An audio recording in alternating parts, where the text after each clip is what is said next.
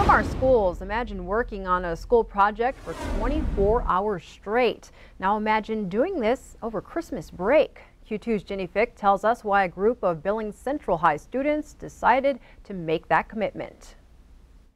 So it is the 24-hour art challenge, and this is the third year that we've done it, where students um, basically lock themselves in the high school over Christmas break for 24 hours.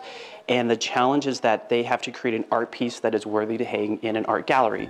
The lockdown teaches time management, planning, and teamwork. Definitely very stressful at first doing everything, but I was very proud of it when I got done it's hard for students to express their thoughts and their feelings, but if they can get it all out on a canvas, they're able to um, bring that light and energy to the world. Now they have the chance to share that energy at an art gallery style gala held at the Clark Martin studio. What we do is we have them all walk out with their piece to reveal as a grand opening that everyone is standing in the gallery clapping as they walk in and they present this piece. And it's, it's really powerful. It's really cool that these kids get to do that. Students were paired with a videographer who caught all of the project in time lapse.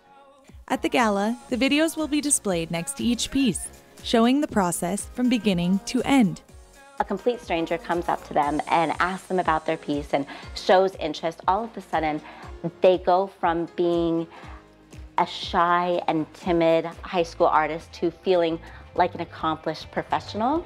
Students will get to dress up and meet members of the community while talking about their work. Given us a chance for us to be, you know, in the spotlight, pretend you're in a gallery and it's your big debut and it's just really, it's an it's amazing experience and helps them see and realize and have the confidence that if art is what they want to continue with, they can.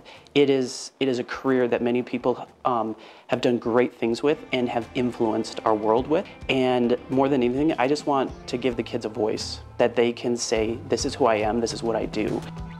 In Billings, Jenny Fick, MTN News. Amazing talent. And Jenny tells us there is a chance for you to purchase some one-of-a-kind artwork. The gala takes place Friday at the Clark Martin Studio at 6.30 p.m. It is free to the public.